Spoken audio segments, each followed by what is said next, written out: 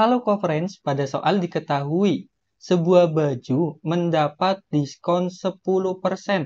Harga semulanya adalah Rp175.000. Kemudian yang ditanya adalah berapa uang yang harus dibayar untuk membeli baju tersebut.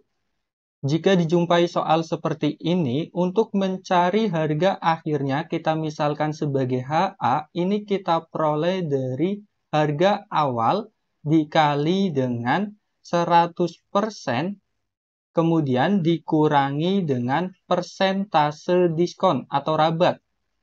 Maka kita peroleh untuk harga akhirnya ini sama dengan harga awalnya, yaitu 175.000 dikali dengan 100% dikurangi dengan persentase diskonnya, yaitu 10%.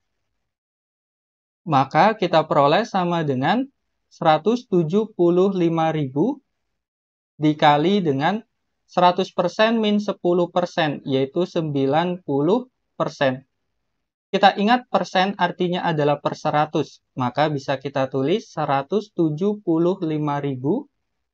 dikali dengan 90 per 100. Maka ini nolnya bisa kita coret 1 dan di sini kita coret 1. Maka kita peroleh untuk harga akhirnya ini sama dengan 17.500 dikali dengan 9. Maka kita peroleh harga akhirnya ini sama dengan 157.500 rupiah. Sekian, sampai berjumpa kembali di pertanyaan berikutnya.